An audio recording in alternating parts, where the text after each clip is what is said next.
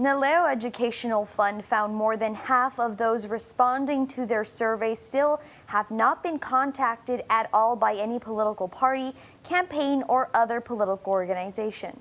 I think that it's also on us to look out and see our candidates and make our choices, do our research. Teresa Garcia Ruiz is part of the nearly 64% Hispanic population in Corpus Christi. We make the majority in a lot of areas, but if we don't vote, then our voice is not heard. Today, she set out to go vote at the Island University where she works, an institution with a Hispanic population of over 5,000 students. One student, Rebecca Ramirez, says her family will be voting blue.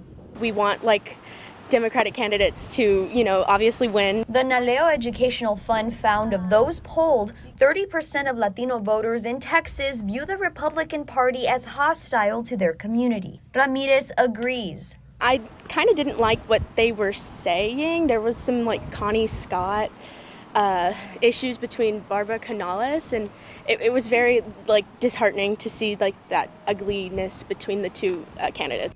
TAMUCC political science professor Dr. Carlos Huerta tells us voter outreach is a lot of work. You know, we're seeing Democrats and Republicans and local candidates both really doing that, being very mindful. Okay, we need to put people out here to get folks out to vote.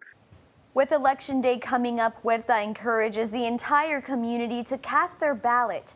On November 8th, the CCRTA will be giving free rides to anyone wanting to vote. We have that information on our website, kztv10.com. For Action 10 News, I'm Victoria Valderrama.